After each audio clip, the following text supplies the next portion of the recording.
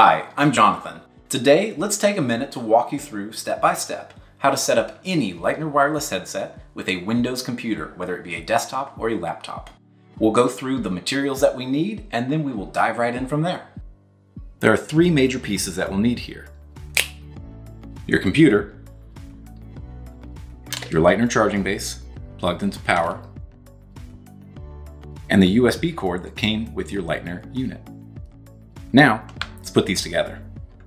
First, let's take your USB cord and we're going to use the USB mini side, plug in to the far left port, mini USB port, on the back of your Leitner base.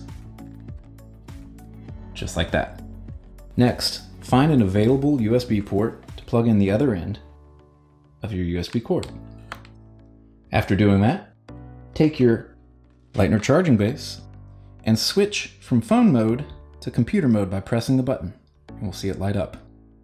All right, that's it as far as cords go. Next, let's take a look at the settings inside your Windows computer. Find the speaker icon in the bottom right next to the clock and calendar.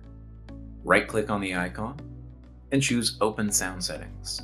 In this window, we want to make sure that the DECT headset, DECT, is selected for both the output device and the input device.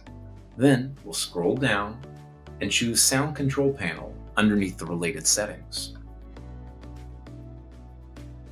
In the Sound Control panel, we want to make sure in our Playback tab that a green check mark is on the DECT headset for headphones, and that is the default device. Then we'll go to our Recording tab and look for the same thing on the microphone of the DECT headset. Once both are selected, click OK. And there you go. You're now ready to rock and roll with your Leitner wireless headset in computer mode. And of course, if you have any other questions or you need any other help at all, always feel free to give us a call at 1-800-HEADSETS, where any one of our headset advisors would be more than happy to help you. Thanks for watching, and I'll see you next time, guys. Have a good one.